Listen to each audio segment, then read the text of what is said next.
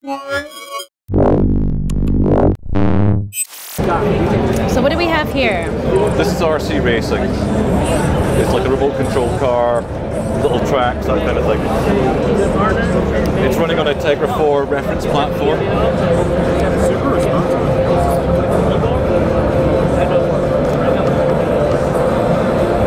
Can you tell me anything about the um, the Tegra 4 uh, platform? Well, this is, this is our uh, Tegra 4 reference platform. It's what we use internally for developing on um, and verification.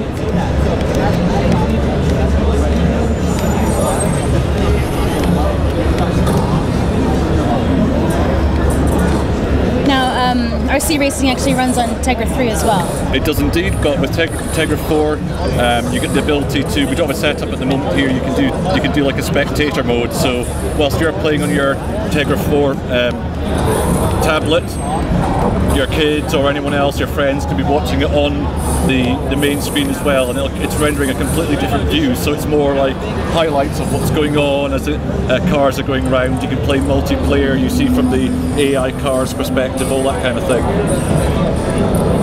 Cool, thank you. So have another Tegra 4 game. This is Blood Sword. This is actually also running on uh, the Tegra 3 platform, but uh, there's graphics improvements. Yeah, graphics improvements, textures, effects.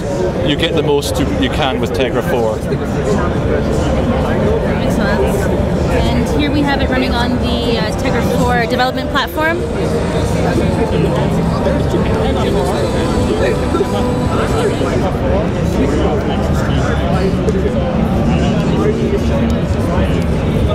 Have a